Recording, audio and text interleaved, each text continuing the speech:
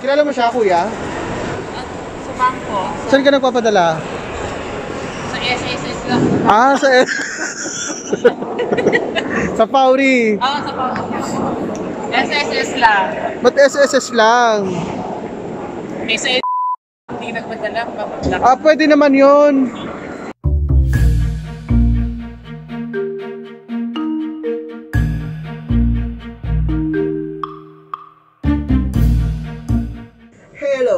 Guys, again welcome back to my vlog and you're still watching Sunny TV on YouTube.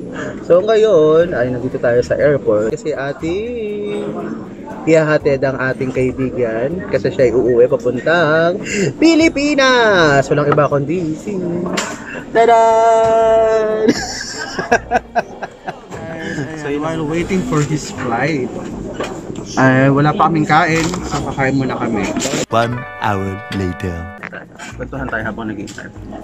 Kung ikaw ay pauwi ng Pilipinas, ano-ano yung mga dokumentong kailangang meron ka? Passport. Ano pa? Dapat yan, extra entry. O yun, exit re-entry, yun ang mahalaga. Kasi pag wala kang exit re-entry, Hindi ko makalabas. pero makakalabas ka pa rin. Halimbawa kung meron kang utang o loan, makakalabas ka pa rin naman. Labas pasok kahit may utang. Unless mag exit ka, kailangan mo nang bayaran yung mga... Kaya nga eh. Yung Dapat mga utang. Bayad-bayad na ng utang para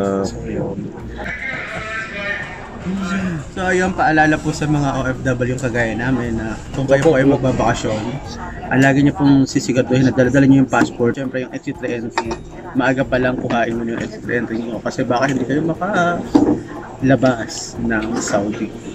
Yun ang kailangan. Kasi kailangan din siya pagbabalik kayo. Ano-ano yung mamimiss mo sa Saudi? Una-una, ah, bros. Wow, kasi yung bros chicken siya, apat na piraso.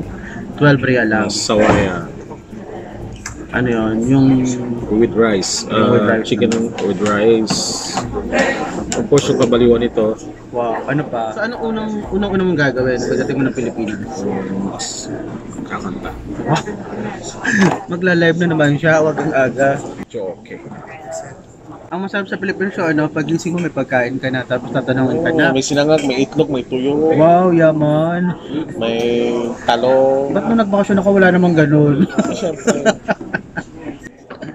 so, yun. lagi, wala, wala ka naman sa bahay nyo lagi. Ayun lang. Darating na lang ako, ano, tanghalian na. Excited ka? Ba't ka pa uuwi? Di, cancel mo na. Hindi nga, kahit i-lie detector mo ako, hindi ako excited. Nape-pressure ako sa aeroplano. Sa aeroplano o doon sa pag-uwi? Pressure ako sa ano, sa sa tagal ng biyahe. Ilang hours ba? Kasi dating ko pa dun is Ngayon ako dito. bukas pa. Hindi. Ngayon, going to Kuwait. Dal- dalawang oras. Ha? Dalawang oras. Then Kuwait, stop over ka na. Uh, two hours. Ako- to Manila na. Oo, nine hours. Anong terminal ka? One. Ay, luma. Nine hours. Tapos may gaganon-ganon ka na naman doon sa ano, pa, Oo, yung pababa. Tapos mga kapag Tapos meron silang, ano, meron silang kartolina. Welcome back. Tapos yung susundo sa'yo, mas marami pa dun sa dala-dala mo. Minsan isang jeep pa. Van, pero puno, pero punong-puno. Alam mo yun, pag, pag susunduin ka sa airport, usually ha, ito yung typical na pangyayari ng mga OFW. Pag susunduin ka sa airport, magugulat ka na lang, aba, halos wala ka nang maupuan. Kasi halos lahat okupado ng mga susundo sa'yo. Tapos ano pa ba? Ano pa ba mga typical na inaano ng mga sa pamilya natin? Although nakakatuwa naman kasi makikita mo ulit sila ganun. Kaya lang, siyempre naman, parang pagod ka sa biyahe, tapos magugulat ka na lang punong-puno yung sasakyan, tapos wala ka masakyan. Kasi nandun sila lahat. Ultimo ka bunso-bunsuan kasama. Nakaporma pa. Kala mo nang pupunta ng mall. Matutulog ka na lang eh. Nakaumpok pa doon sa kwarto mo. Oo, tapos yun. Pero masaya naman. Pero dumating ako parang naano ako. Nag-a-adjust. Ganun. Wow! Kasi nasanay ako mag-isa. Mag, nasanay ka mag-English tsaka mag-Arabic. Oo, nasanay ako mag-isa tapos sila kumpulan. Mm-mm. Parang naano ako. Tapos kung nasan, nasan ka, nandun din sila. Oo, parang nasasyak ako. Kasi nag-iintay sila magbubukas ka ng ano, ng box. Oo. Tapos yun, for sure, nandiyan na yung mga kaibigan, Mga yung mga long, long lost na kaibigan, Mga expectators. mga expectators. Siyempre, yung mga pagdarating sa pag pag park pag park, pag park na no, ano ng sasakyan galing kang airport, nandiyan yung mga kapitbahay nakagano sa bintana. Oo. Diba? Ayun na pa siya. Pumuti no. Tumaba. Tumaba no. Pero pag nakita ka, ang unang tanong, kailan ka ang balik babalik? mo? Utang na loob. Kakadating-dating lang po ng OFW. Tatanungin nyo kaagad, kailan ang balik mo? Oo. Kaya balik mo. Hayaan nyo munang ma-enjoy nila yun. Ganun ang Pinoy. ah, dapat sinasabi mo, kakabalik lang po. Oo. Kailan balik mo? Tumaba ka. Oo. Tapos, parang lagi nilang tinatanong, saan ka galing? Anong bansa ka? Tapos pag sinabi mong, Saudi po. Ay, sa Saudi?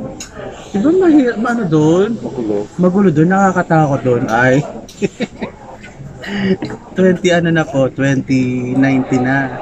Nagko-concert na po rito si Mariah. May sinihan na po sila. Meron na silang movie na Bumblebee.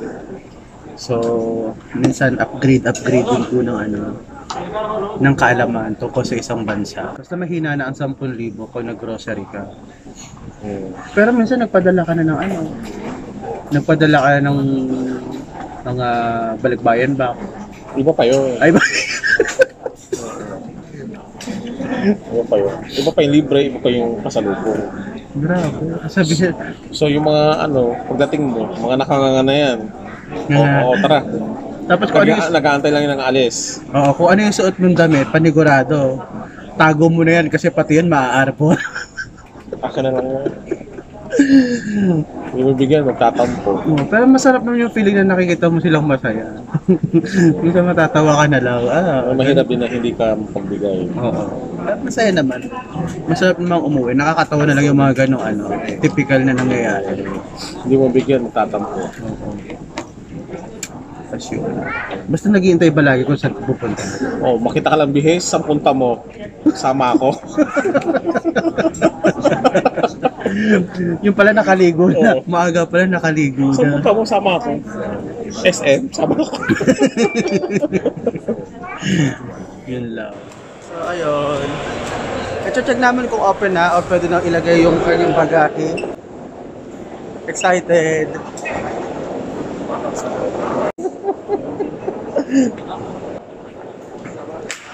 wow, Kuwait Airways. Tapos ano ka pala? Over baggage. Yun na. Ayun o, pwede ka doon sa isa. Pakabait ko doon ah.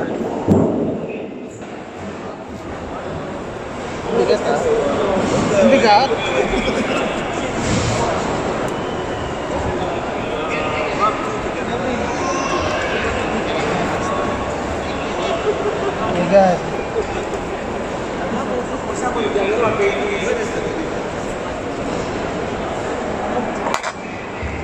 Oh, It's so heavy.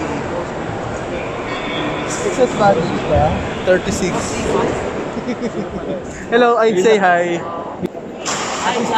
At the same time sa bunker. Inshallah. Inshallah. Papakapal ito ng mukha. Respect like spare time. Yeah, yeah.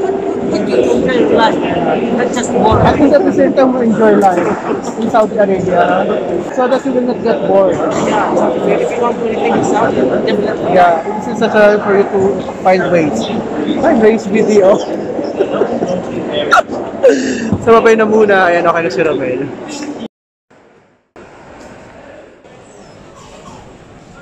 Babay.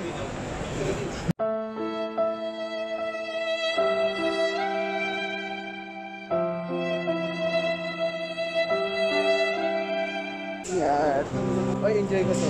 Bye-bye. Bye-bye muna, Mel. Bye-bye na.